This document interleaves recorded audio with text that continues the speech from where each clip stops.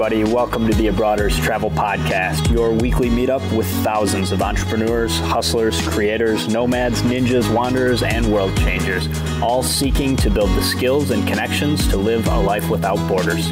If you want to learn more about what we do or download our entire podcast archive, check out the website, abroaders.com.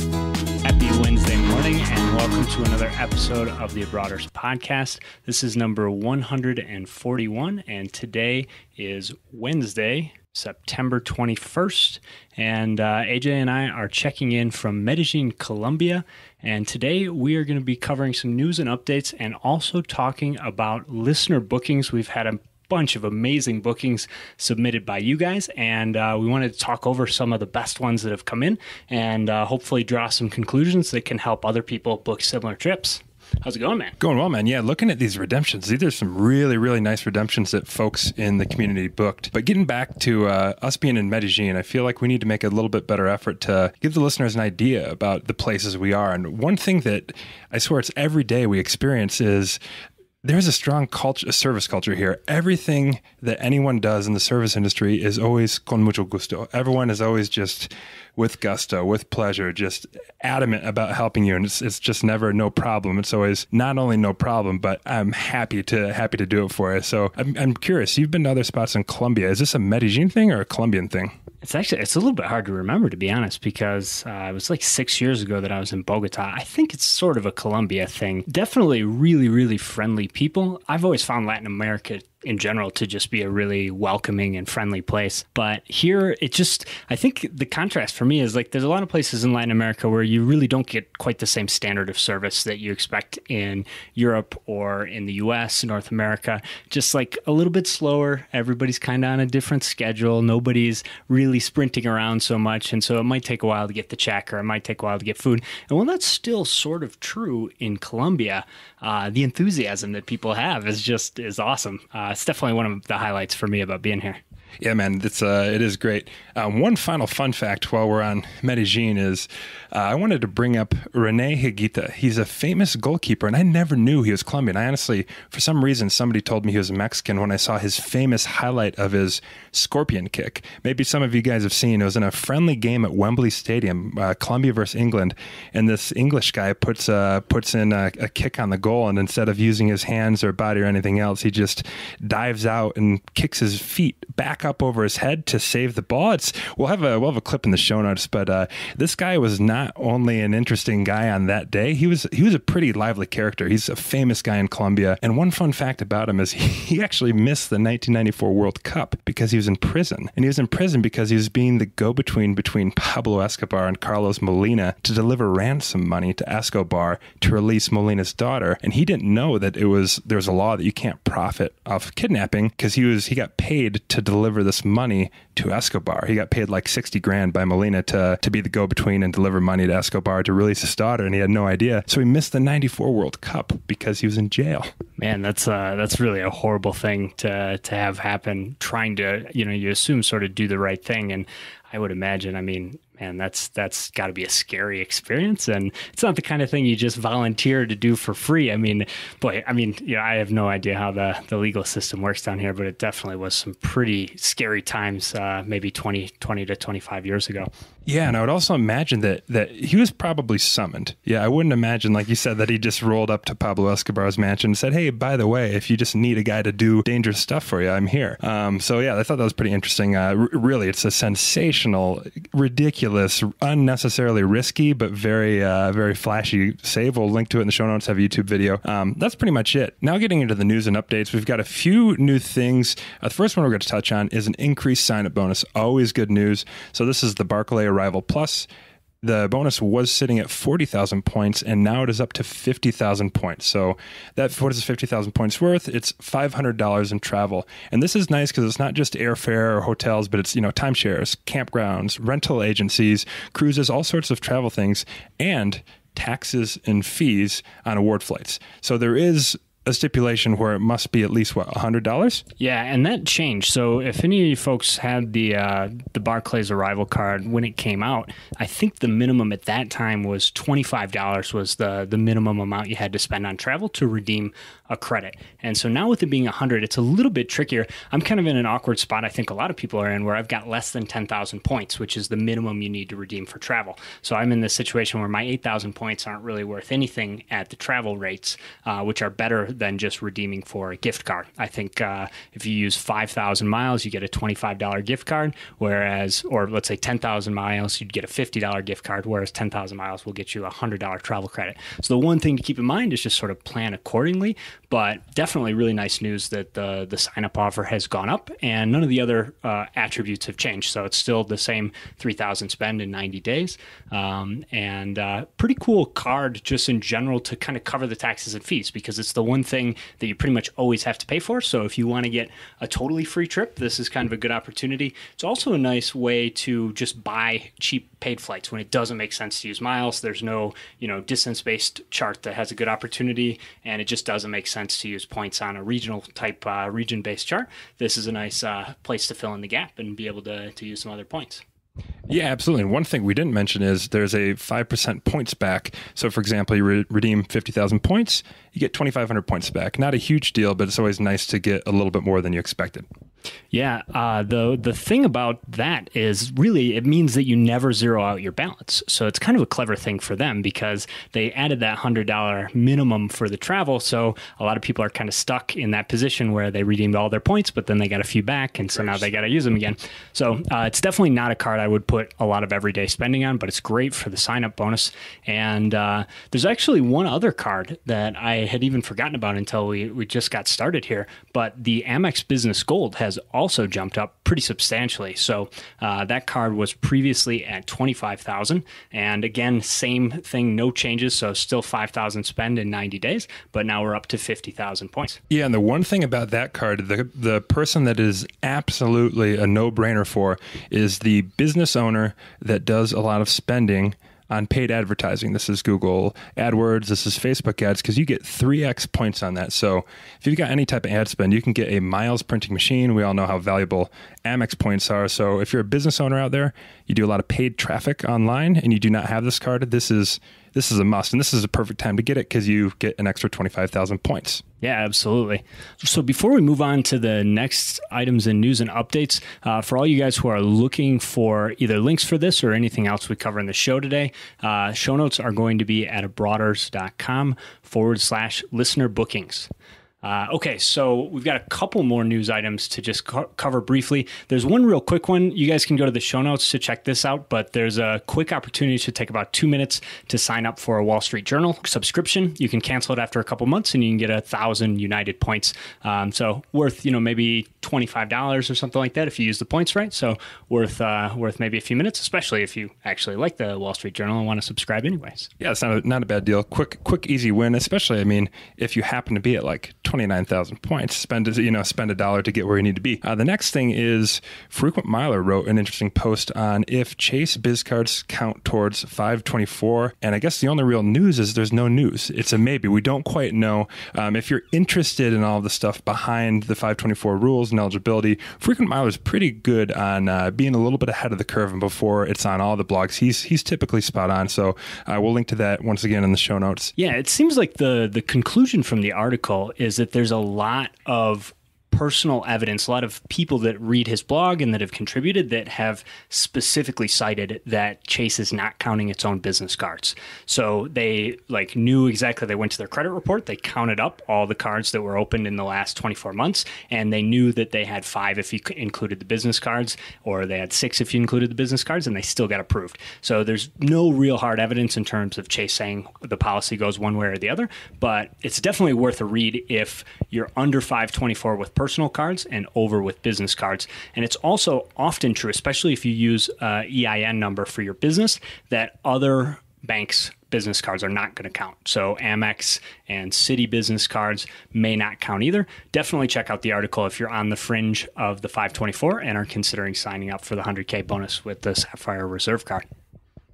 That's good stuff, man. He's always got he's always got good insights. Uh, next thing we've got here is some availability alerts. So it looks like between Japan and Australia, we've got some wide open availability in Qantas business class, and we've also got some good availability in EVA business class, which I actually have flown from Taipei to New York. It was like a 15 and a half hour flight. It was lifesaver. It's, How, how was the business class for that?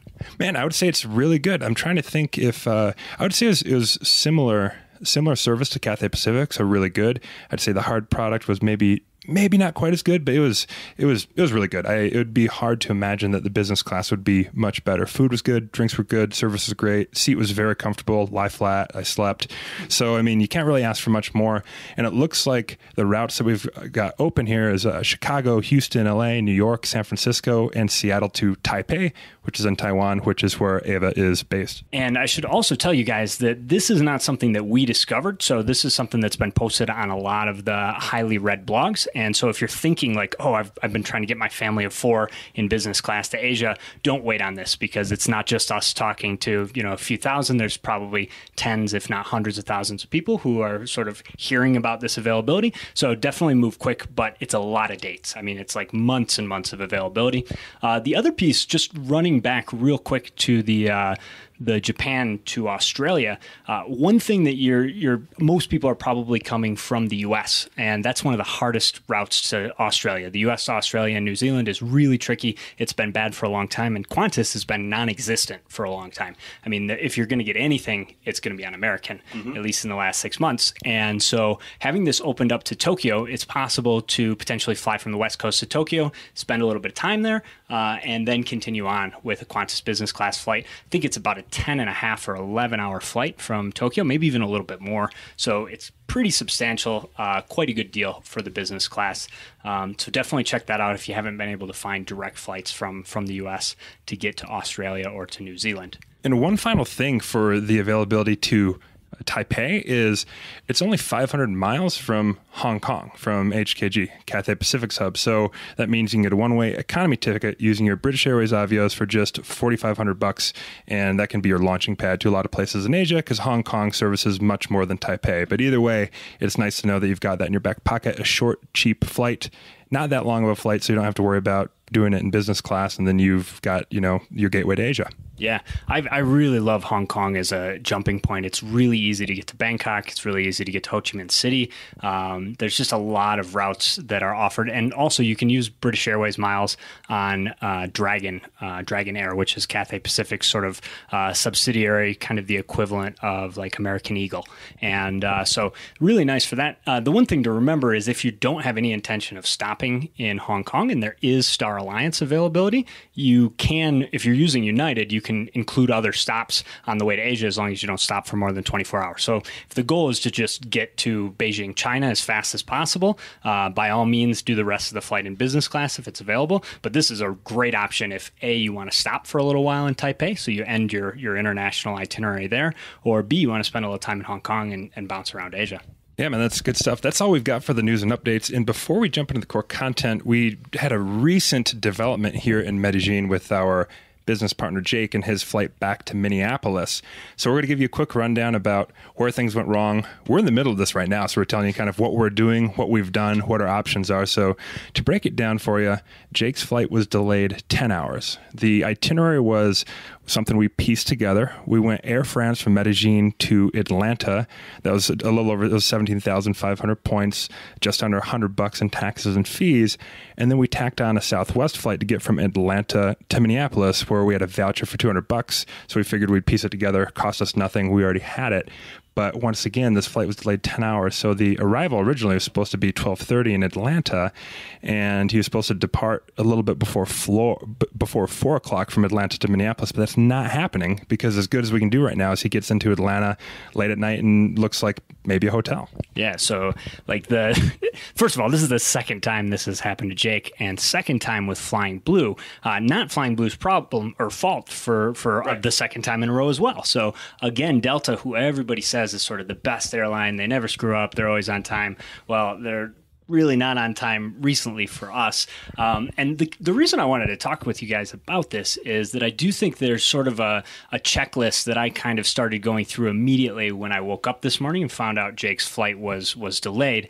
Um, and I wanted to kind of run through this because um, I, I do think like there's a lot of really good opportunities to save points by combining itineraries with two different frequent flyer programs. So we used Air France to get to Atlanta. We actually bought a paid ticket with Southwest to get to Minneapolis, but there's a risk inherent when you do that because Delta is not responsible for getting Jake to mm-hmm. Minneapolis. They're just responsible for getting him to Atlanta. And so even if they get him there 10 hours late, it's not really their problem that he missed his Southwest flight. And so a couple of key things. I'm going to run you guys through kind of the checklist I went through when I first started trying to resolve the problem.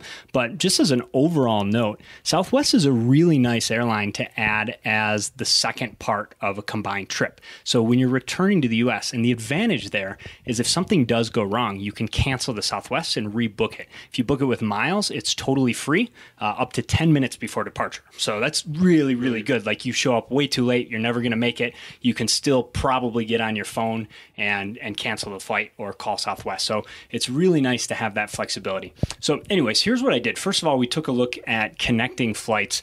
He's obviously not going to make it 10 hour delay, and we only built in a three and a half hour layover.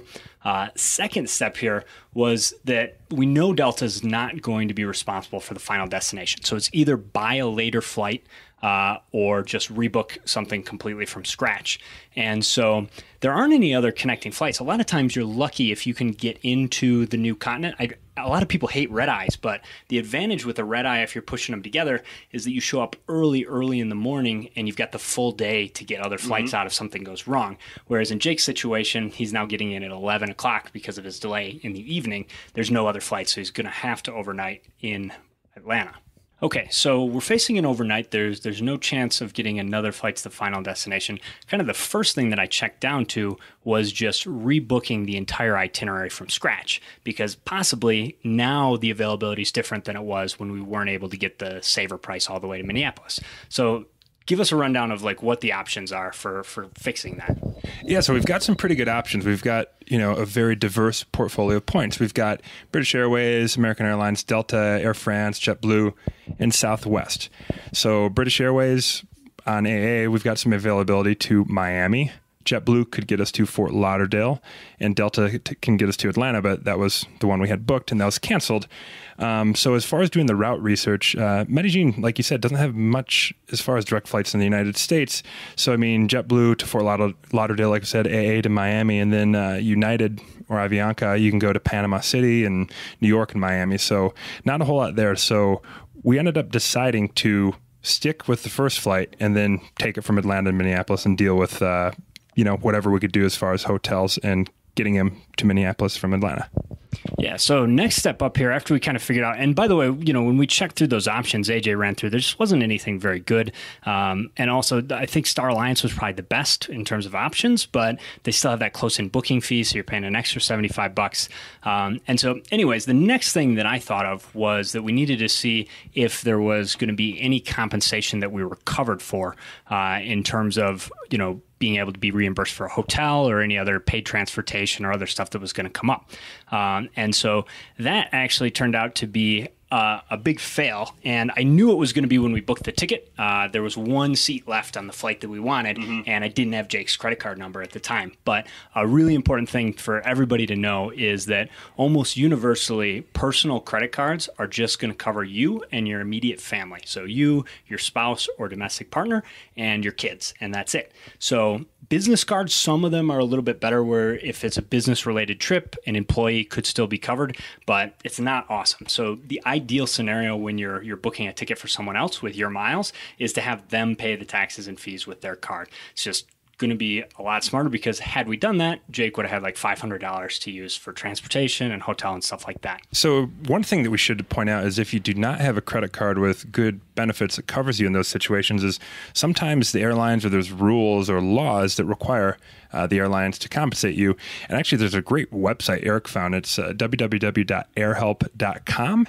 And uh, it's really interesting. So we looked into this. So the EU rules are really interesting. The EU hammers the airlines for being late and being delayed over three hours or what have you. So Air France is an EU airline. However, there's different rules depending on where they're operating. And because they're not operating in the EU, uh, Jake is not entitled to the, the 400 euros or whatever he would have been entitled to had this been in the EU. Uh, but but as Eric pointed out to me, this website's a really good resource because it's not just about the EU; it's what you're entitled to in the United States and traveling elsewhere. Yeah, and one of the things that blew me away was the stats on how uh, how much the airlines get away with giving people less compensation than they're legally entitled to, and so that was like a huge thing that like like 70 or 80 percent of people don't get what they actually could get. They just take that hundred dollar voucher and they're just like oh okay. So uh, before you accept and it is possible i think for to sort of take some initial compensation and then say like that wasn't enough but that's a little bit risky right? Mm-hmm. so you you probably want to spend a little bit of time and take a look.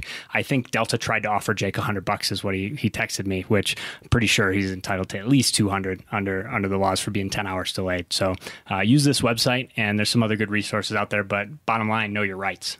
Okay, so to wrap it up, uh, we decided to rebook that Southwest flight from Atlanta to Minneapolis.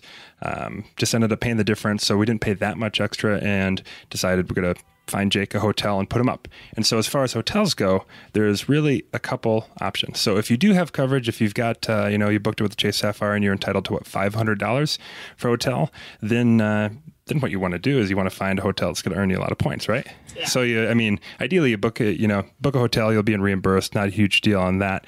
However, since we're in a different situation with Jake, we were going out of pocket, so we didn't have compensation quite yet. So we decided to book something with points. And there's a couple great resources as far as booking hotels with points. The first one is Hotel Hustle, which is from Seth at the Wandering Armenian blog on boarding area. And the other one is the hotel maps from Drew from Travel is Free. So those are great resources. Um, we found a couple options 4,000 Starwood points or 10,000 Marriott points. That seems kind of like an obvious decision. However, Marriott points are just worth almost nothing. So 10K Marriott points is actually not a bad deal there. Yeah, I think it's kind of close. I mean, that, that's sort of a push, but the, the situation was like Marriott points. Jake actually had a bunch of those, and uh, we don't have that many Starwood points, and so it seemed like a better choice to just save the Starwood points. Those can become airline miles later. Uh, so the Marriott was a, a, pretty good deal. Most Marriott redemptions are like in the forty or fifty thousand points, so a ten k redemption was pretty good, uh, and it's going to be a nice property right at the airport. But definitely check out Hotel Hustle. Uh, I think the biggest thing about that resource is that it ranks the redemptions by cents by per point. So you really don't have to do any work. It gives you the chance to do, uh, you know, to be able to see what the paid rate would be if you were going to pay for that hotel straight up, and then how, how many cents per point you're getting for your points, and it just ranks them in order. So it's really easy to actually figure out what the best deal is. It also shows cash and points redemptions, um, and the last piece is that uh, it covers pretty much all of the major loyalty programs. So in one single search, you can look at Hyatt, you can look at Starwood, Marriott, IHG, um, and probably four or five other ones that I can't quite think of. That's good stuff. All right, so to summarize everything, here's the numbers we're working with. We ended up paying $200 more for the difference in that Southwest fare and 10,000 Marriott points. So, not too bad considering we went self insured on that. We pieced together two itineraries knowing there's some risks involved with that. So, we're out 200 bucks, 10,000 Marriott points, which is not worth much to us as far as the Marriott points go. Now, to gain, we should be able to get some compensation here. So, we should be able to get you know, a decent amount of points from Delta. I don't know, 10,000, 15,000 points possibly from Delta for the delay, maybe. So that would be somewhat in line. I mean, we've had some issues with Delta in the past. That's kind of where they've set the market for compensation. So should be able to get some Delta points. And I guess we'll keep you guys updated on how that negotiation goes and tell you what Delta was willing to give us for jacking up our travel plans. All right, AJ. So let's jump into some listener bookings. I was super inspired. We've been collecting these for quite a while now. Uh, and it's actually starting to pick up quite a bit. We've had a lot of recent bookings, and it's just super excited to see people c- succeeding at booking their trips. Uh, so we're going to run through a few bookings just to give you guys some ideas of what's possible, and then make any notes. One of the great things about this is a lot of folks were super generous with their time and actually listed some some really interesting takeaways from the bookings. What was challenging, what they were, you know, what was easy. Uh, any tips for other people that are trying to do the same thing. Uh, so we're going to do our best to cover those as well. And we will also have the link to submit your booking in the show notes. We would really, really appreciate if you would do that. Helps us get better information, more data points on how much miles are worth. And also, we've learned a ton from seeing these bookings come in. Uh, so please share your successes as well. Yeah, man. I, I just have to reiterate. I love uh, how how much success we've seen the listeners have as far as the bookings go, and and this is a couple things. It's cool to see that maybe we help these people out, and we've actually learned some stuff from a lot of listeners. There's there's definitely some listeners that know what the hell they're doing, and they're really good, and it's cool to cool to see them succeeding on their own independently. All right. So first up, we've got a booking from Michael.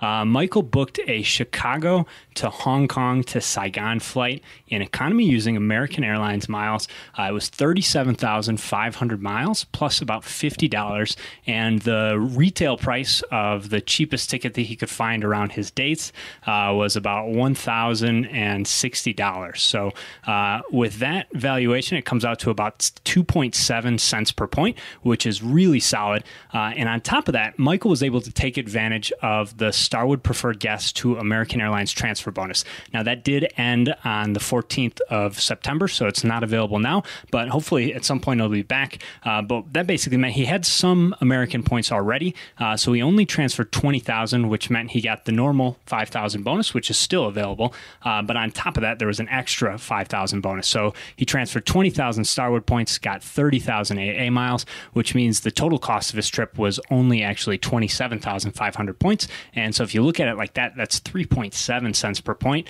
on this redemption, which is really, really awesome. Um, so it looks like uh, on top of all of this, he also booked this ticket at a pretty tough time of the year to book travel. Basically, between Christmas and New Year's is pretty ugly in most cases uh, for award redemptions. And so Michael's actually going to be stopping in Hong Kong on New Year's Eve and catching the next flight out uh, on the way to Saigon the following day. And so this brought up a pretty cool thing that I just wanted to make sure everybody's aware of. American Airlines, if you stop more than 24 hours, is going to bill you separately for each of those redemptions. But if you keep it to 23 hours and 59 minutes or less, you can get a nice long stop and actually get to do something in, in the city that you arrive in. Uh, and so for Michael, uh, he had a couple of takeaways here that I wanted to share. Uh, it's worth noting that he, he booked this in economy, so he was actually possibly looking for business class tickets. And so it's worth mentioning that Cathay Pacific is really good at opening up flights last minute for bookings with miles. So if you use a uh, an American Airlines currency, you use your American points to book a ticket on Cathay Pacific, uh, and there isn't enough space in the class of service you want. There's two important things to know. One is that you can actually change your ticket. You can upgrade to business or first class if it becomes available at no charge. So uh, as long as it's the same cities, uh, it's not going to be an issue. Um, and I'd recommend using British Airways website. Uh, that's the best free source to look at Cathay Pacific availability, um, so you can see that up upgrade space. And for Michael, it probably, if he looked you know now it probably doesn't make sense to be checking this every day unless it's super important that he gets that business class um, but you know start looking maybe two weeks out and see what happens because a lot of times in the last like three or four days especially they just open up like all but one business class seat for miles because they know they're not going to sell them um, so the other thing is if upgrading is super important, I did want to pass on one resource that can really supercharge your search so that you don't have to wake up every morning and look at British Airways' horrible website over your coffee and crumpets. And uh, that's going to be to use Award Nexus. Uh, and so Award Nexus is a service that we use for our booking service. It's got access to a ton of different websites. It is a paid service, um, but they've got kind of interesting packages for a single trip where you can just monitor the flights and see if anything shows up, and it'll send you an email immediately if there's any availability. So that's really nice if you're just kind of sitting on those. It's about 45 bucks, uh, and that covers two travelers to three destinations. And so basically, Michael could set that alert and have it check for availability every morning, 8 a.m. Eastern time or whatever time he wants, and then it'll email him as soon as something's available. Man, that's great. I think one takeaway that we didn't focus on much is Michael, good on you for getting a free stopover in Hong Kong on New Year's. I would imagine that Hong Kong New Year's is pretty awesome. I mean, I know it's not the Chinese New Year's and it's kind of China, but still, I guarantee that there's a lot of action there. So that's pretty cool. Um, the next one we've got here, I absolutely love this one because this is the first listener that we've uh, you know heard feedback from about booking an award to Cuba. So we've got Emily, and she booked an award from Seattle to let me see if I can figure out how to say this Cienfuegos, Cuba, in a, in a thank you in uh, in economy class. So we're looking at thirty thousand AA miles per person plus taxes and fees, and you can expect that to be between twenty and forty dollars on a round trip. We didn't get the exact numbers from Emily, but it's pretty safe to assume that's what it is. Now, the paid flights were looking close to $900 per person round trip. So that takes us to around 2.75 cents per point, which is a really nice redemption on AA, considering what we value those points at. And uh, some nice things that Emily provided for us is she shared some tips because traveling to Cuba is not like traveling to, say, England or France or Germany. Uh, the first one, make sure you have the phone fee waived because you can't book this online yet. Um, some of the agents may not know about that, but you're going to just need to ask for the phone fee to be waived because they are going to try to get you for, I believe it's $75 on the phone. I think it's 40 for international per person. So for her case, it would have been 80 uh, with, with the two people, depending on whether they were booked on the same itinerary. I know she uh, said they were traveling on different dates. So uh, one way or another, I believe it's 30 domestic and, and 40 international. But either way, if you can't book it on the website, it should be waived. Uh, maybe it's worth to, to, pay the fee if you know you don't want to hang up and wait on hold for a really long time. But uh, most agents should know, and if not, ask for a supervisor. They should waive it for you. Uh, the next thing she noted was she used Cuba Travel Services. So they partner with American Airlines. It's $85 for the visa. It's one form. She said it arrived in, you know, under five days. Three to five days is what you should be looking at. And then the final thing is just be persistent because lots of AA agents were not aware that you could redeem miles to go to Cuba because this is a new thing. That's a change of pace for the agents and you can't book it online. Yeah. And two other things that I, I came away with. So I started looking at paid flights just to kind of see, like, it seemed really high that the, the flight was $900 per person. And number one, they actually are really high. I didn't quite see that high at the dates I was looking at, but like $600 round trip easily. And it was super hard to find an OTA that would actually show prices to Cuba. I looked at Google Flights, I looked at ITA Matrix, I looked at Expedia and Kayak, and none of them had any prices for flights to Cuba. Skyscanner is the one. Uh, so if you are looking at paid flights, uh, that might be a good place to start. Uh, one thing, too, on maybe why those are so expensive is that's about as far of a flight as you can take from the continental U.S. Cuba. She's coming from Seattle, so big difference between hopping on a flight from Miami to Cuba versus Seattle. So, uh, I mean, maybe that's another reason. And one more thing people that want to go to Cuba should know is that it has opened up, but there are still particular travel requirements that need to be met. We'll link to that in the show notes. Um, Eric, you said it was what the the person to person exchange of ideas looks to be like the most commonly used one, but but like I said, we'll link to that in the show notes, so you'll be able to see you know what your reason for going to Cuba could be. So Emily, thank you so much for sharing that. That's really exciting. Congratulations on being the first person I know of personally to use miles to get to Cuba. Yeah, super exciting. Thanks, Emily. Uh, okay, so up next we've got Tony, and uh, this one's a business class redemption. Uh, thought this was super exciting as well. So Tony uh, booked a trip from the United States to Japan in business class.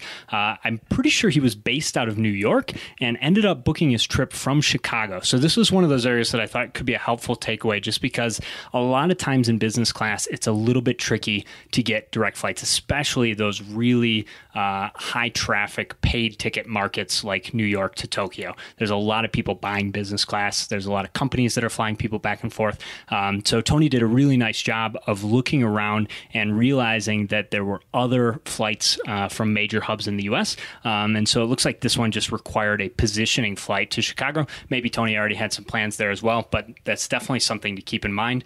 Um, so this redemption uh, was 75,000 ANA miles. Uh, and so that came out to with $90 in taxes and fees from Chicago to Narita. And that's a really good deal, especially because those particular tickets were retailing for $6,300 a piece. Um, and frankly, that's that's actually kind of common. I've seen that a lot. Um, you know, sometimes you can catch a good deal, but a lot of times you're going to see really high prices. Yeah, I mean, especially considering that ANA is a is a legitimate airline with a very nice business class. And one thing I wanted to touch on for the listeners is none of you probably are sitting on ANA miles unless you live in Japan. So they are a transfer partner of Amex. And the final caveat is there is no one way award travel. So you got to have enough miles to do the thing round trip. So good on you, Tony, for racking up the Amex points and dumping them to ANA for this is massive redemption 90 bucks, uh, 75,000 points round trip, business class, long haul, retailing over six grand. That's, uh, that's top notch. Yeah, it's a it's an incredibly good deal. Uh, I think it comes out to like eight point three cents per point if you're if you're actually going to buy that ticket retail. Um, a couple of tips that Tony shared, and I thought this was really good. I had actually forgotten about the Chrome Award Flights plugin. Um, so this is pretty cool. It actually works a little bit like Award Nexus that we were talking about earlier. It's totally free. Uh, it doesn't have the features where you can email, you know, have email alerts and stuff, but just in terms of a better interface than using British Airways or some of the other websites like ANA to search for availability. So check out the Chrome plugin. It's uh, if you search award.flights, you should find it in the Chrome store. Um, but we'll also link to the place where you can install that in the show notes. Uh, he said the biggest challenge was just sort of figuring out the the dates. Um, you know, he had kind of a restricted uh, set of dates. One of the big things that you want to do when you have that sort of situation is just try and plan as far in advance as possible. A lot of times you might not be able to book till a few months out, but um, anyways, looks like Tony did did a really nice job, uh, and especially considering that there wasn't availability from his first choice of airports, still managed to get a really great redemption. So, uh, yeah, congrats, Tony, and thanks a bunch for sharing. All right, that's going to wrap it up for this week's show. Again, all of the links and notes from today's episode are going to be at abroaders.com slash listener bookings. Thank you guys so much for being with us. Definitely check out the show notes. Uh, if you found any of this stuff relevant to your travel plans, we've got two big new sign up bonuses to take a look at. Also, information about your rights. If something goes wrong with your flight, make sure you get all the compensation you're entitled to. Uh, also, have those resources, including uh, the Chrome plugin for flights, uh, Award Nexus, and a bunch of other tools and resources to help you guys book hotels, book flights, and make the most of the points that you have. Yeah, one final thing. If any of you listeners out there are going to sign up for that Barclay card or the Amex card, if you've decided it's the right card for you, we will be forever forever grateful if you use our links because we will get a commission on that if you use the links on the show notes page. Awesome. Thanks, guys. We will see you next week, 8 a.m. Eastern Standard Time. Hey, Abroaders, don't be shy. Hop over to the website and join our email list for exclusive travel hacking content. If you like what we're up to, the best way you can support the show is by leaving us a five star review on iTunes. Lastly, we would love to hear from you, so send your show feedback to Eric or